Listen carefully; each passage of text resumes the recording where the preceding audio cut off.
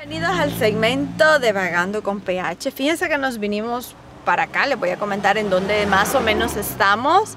Hemos estacionado el vehículo acá eh, en la carretera troncal, específicamente en un lugar conocido por Colima, eh, los chalatecos así lo conocemos, pero de todas maneras los invito para que ustedes cuando pasen en el trayecto de la carretera que conduce de San Salvador, la carretera troncal, hacia el desvío de Amayo, van a encontrar Colima, pero les voy a comentar algo bien atractivo, bien turístico, bien característico del lugar, así es que me acompañan, vamos y les explico.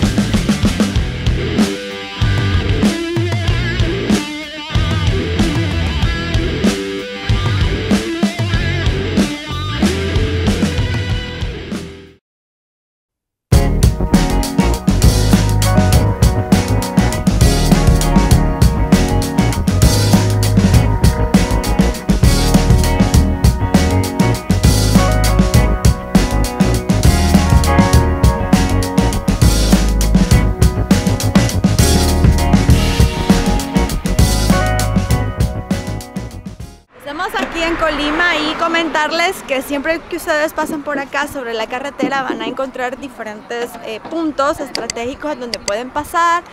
Se estacionan ustedes con mucho cuidado a la orilla, eh, hay arbolitos por acá en donde ustedes pueden dejar el vehículo, la motocicleta, venir en familia. Miren acá tenemos a esa familia que tiene acá su, su espacio. Vamos a, vean, ahí, gracias hay atolito de lote, es lo que les mencionaba, que es algo bien característico de la zona. Pueden ver acá, hay elote asado, hay elote sancochado. Sí, también. Y tienen riguas, Sí. con, acompañadas Con con, cuajada o con crema. con cuajadita con crema.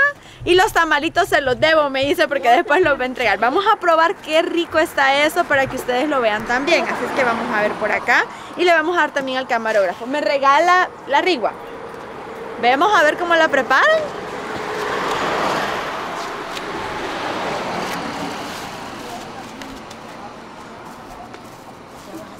Miren, tiene el elotito aquí de granado también. Qué rico. Cuajada o crema. Las dos cosas, se puede. ¿sí?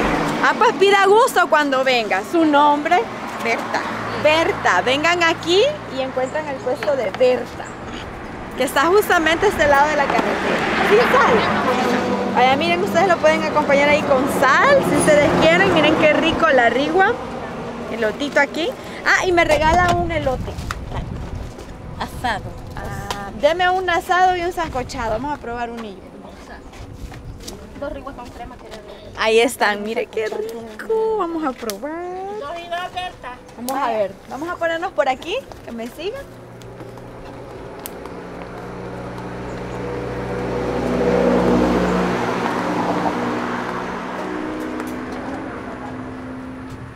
Vamos a probar esto. Crema, Berta. Mm.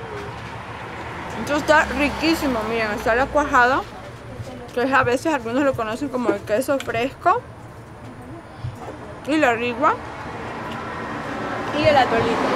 Ya vamos a ver lo de los elotes para que ustedes también puedan degustar, así que por favor cuando vengan acá a Colima, pasen por acá y disfruten de la gastronomía, la variedad de maíz, elote, tamalitos, riguas, y disfruten siempre por favor en compañía pues, de su familia o de quienes ustedes gusten. Así es que muchas gracias, lo voy a disfrutar.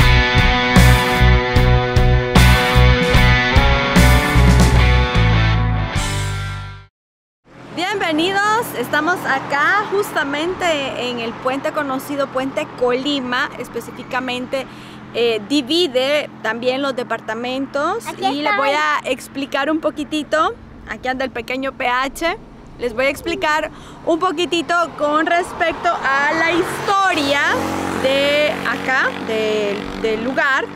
Solo comentarles que este lugar se le conoce como área natural protegida, es decir, el lugar tiene el derecho, más bien, y el reglamento indica que debe de ser una zona de conservación ambiental, claro.